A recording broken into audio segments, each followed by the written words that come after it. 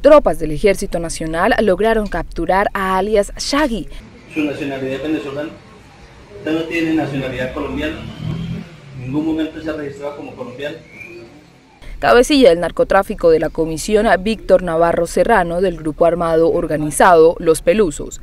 Después de un arduo trabajo de inteligencia militar y un seguimiento permanente a las estructuras que hacen presencia en el Catatumbo, tropas de la Fuerza de Despliegue Rápido número 3 lograron establecer el paradero de alias Shaggy, dando cumplimiento a la orden de captura vigente por los delitos de concierto para delinquir y fabricación de estupefacientes.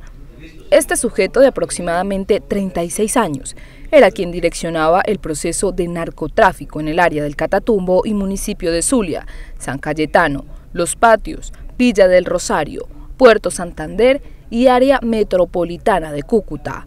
El capturado fue entregado a las autoridades competentes para dar continuidad al proceso de judicialización.